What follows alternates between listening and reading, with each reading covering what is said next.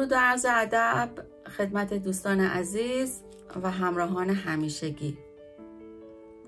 در جلسه قبل در مورد خداگاهی صحبت کردیم تعریف کردیم و راه های رسیدن به خداگاهی رو صحبت کردیم. دو تا هم تمرین داشتیم که امیدوارم که این تمرین ها رو انجام داده باشید. الانم می‌خوام بهتون دو مورد دیگه از این تمرین ها رو بگم. قصر معجزه و کمکیار همیشه ما در ذهن خودمون قصر هایی که تو بچگی کارتون دیدیم فیلم هایی دیدیم قصر هایی دیدیم خیلی از اوقات خودمون رو تو اون قصرها تصور کردیم. الان تصور کنید که خوابیدید و صبح که از خواب بلند شدید خودتون رو تو اون قصر می‌بینید. قصری زیبا و جادویی. قصری که به شما همه چیز میده. این قصر رو چطوری تصور می‌کنید؟ دوست دارید تو این قصر چه چیزهایی باشه؟ چه اشیایی باشه؟ چه شکلی باشه؟ دوست دارید چه کسانی در این قصر همراه شما باشند؟ دوست دارید تو این قصر چیکار کنید؟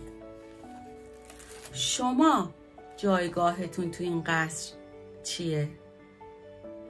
دیگران اون اشخاصی هم که با شما تو اون قصر هستند چه جایگاهی دارند؟ تصورش کنید و بنویسیدش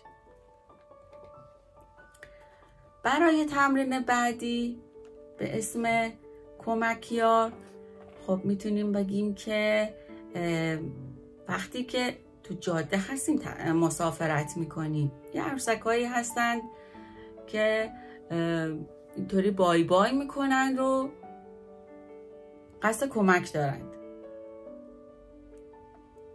خیلی از اوقات هست که دوست داریم که از دیگران کمک بگیریم. اما خب خجالت می‌کشیم از این کار امتناع می‌کنیم.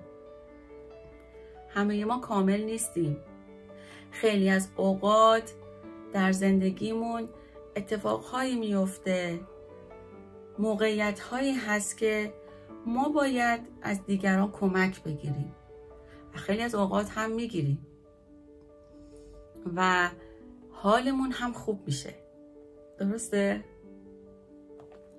الان اگر بخواید از کسی کمک بگیرید در مورد چه موضوعی کمک می‌گیرید؟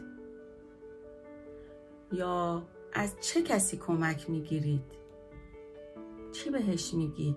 چه خواسته ای ازش دارید؟ تصورش کنید و بنویسیدش. مانا و پاینده باشید.